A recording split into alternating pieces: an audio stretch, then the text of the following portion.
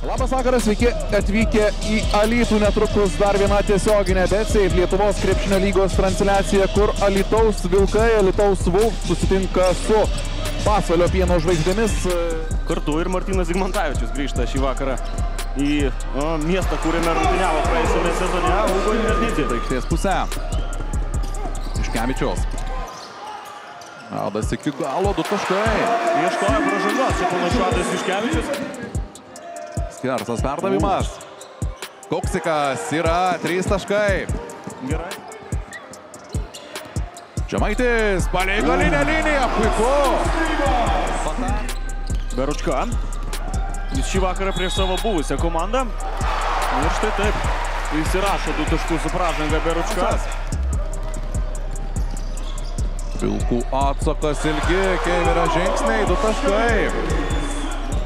Na, išskyrė po pastarųjų rungtynių su garždais Ramūnas Tvirka.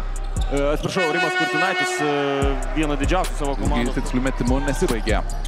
Keiveris. Šoko prie jo ten ir Kurmanavičius.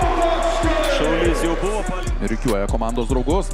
Lieka 3 sekundės pats iki galo Iškevičius, 2 plus 1. Du taškai ir pražanga. Vidurio polėjo pozicijoje, ypač gynyboje nelabai ir turi Ramūną Tvirką. Keiveris, intraskyta gynyba. Taškai dabar e, pasvaliečiams. Dėlija gerai perskaitė situaciją, atrado Invernizį, o šis atranda du taškus varžovų krepšyje. Nuo lentos, Kevičiaus. Aukštai pakilęs buvo ten nevaldas Šaulys. Nepavyko lengvai priimti kamolį iš Kevičių, bet ataką užbaigė sėkmingai Wolves. Kevičius. Atakuoja Delija. Agresyvus Marcevičiaus žaidimas ir štai taip.